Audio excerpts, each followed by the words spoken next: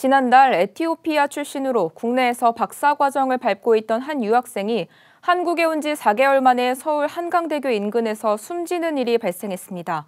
이번 사망 사건으로 에티오피아 교민사회는 큰 충격을 받았는데요. 이 소식을 듣고 숨진 유학생의 장례를 도왔던 한국세계 유학생 선교협의회 대표 문성주 목사는 재발 방지를 위한 대책이 필요하다고 강조했습니다. 자세한 내용 김민주 기자가 보도합니다.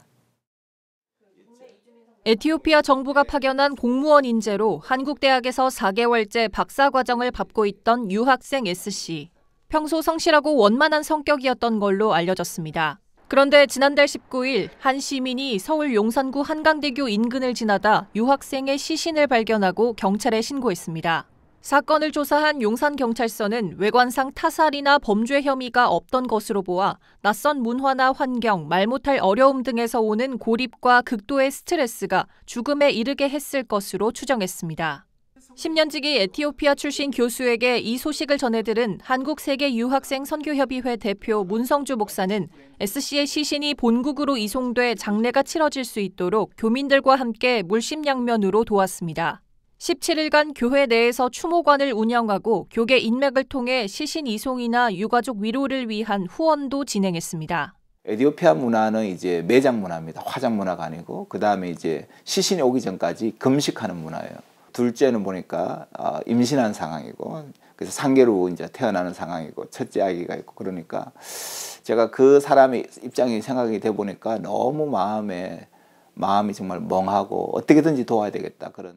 예기치 못한 동료의 죽음은 제한 에티오피아 교민사회가 처음 겪는 일이었습니다.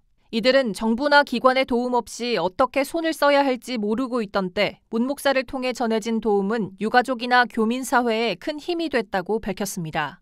장례식을 한 달 정도 하거든요. 우리나라에 이제 장례식 하기 위해서 필요한 돈이나 그 앞으로 조금이라도 가족들한테, 애기들한테 도움 될 수 있는 돈을 그 목사님 통해서 이제 만드는 거죠. 문 목사는 그동안 국내 외국 이주민들을 만나면서 문화 충격이나 학업, 언어 소통 문제를 겪는 이주민의 입장을 피부로 이해할 수 있었다며 선교 경험이 풍부한 한국교회가 민간 외교 차원에서 이주민과의 공감대를 충분히 형성한다면 SC와 같은 비극을 막는 데 기여할 수 있을 것으로 내다봤습니다.